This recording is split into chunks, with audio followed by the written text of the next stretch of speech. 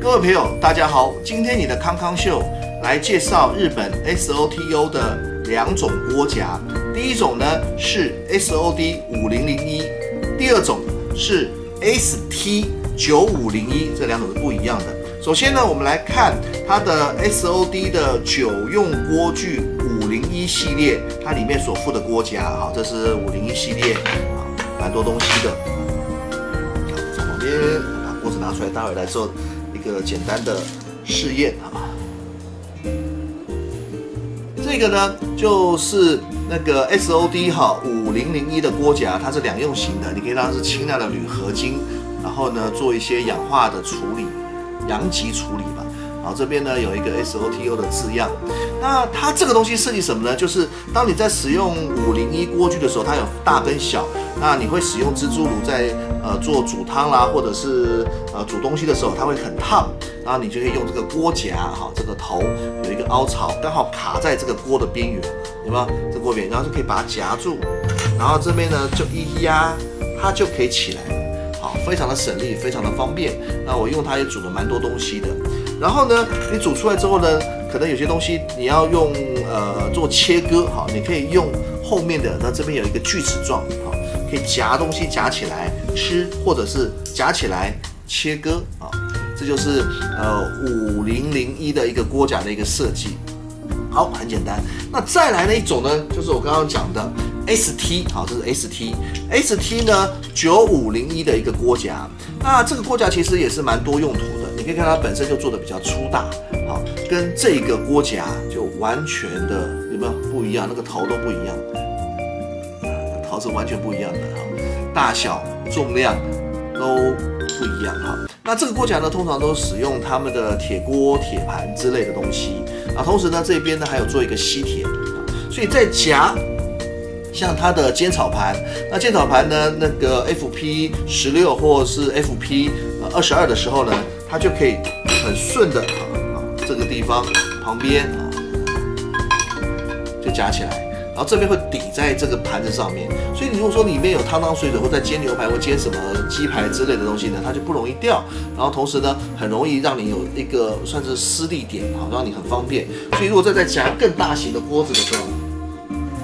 你看？二十二公分的时候，你会需要你的锅夹是比较坚硬的、比较强壮的，然后而且让你很方便的施力。啊，我们就放在这里啊，从侧边啊，锅夹夹住，顺势的它这边呢会卡下来，然后这个地方呢就完全咬住它了，所以你就可以顺势的呢，就像呃平底锅一样，就可以把它拿起来。当然一定是有重量，一定是因为你锅子本身就八百五十五公克，所以一定有一个重量。可是呢，如果说你用呃这个九五零一去夹这个锅子的时候，你会发现它就是有差一点点东西，也是可以夹，但是哈，并你的力量可能会造成这个铝或者是这个呃保护层可能会受损，所以呢，用这个比较轻量化的呃五零零一啊来夹，它就顺势的就卡住，两个地方会有一些差异在。那人家说可以通用，你要应用也可以了，只是说会不会掉不保证啊。对不对？这边，然后呢，这边呢不是磁吸的，然后但是呢，这个是磁吸的啊，可能是为了更好清洗，或者是让它更坚固，或者是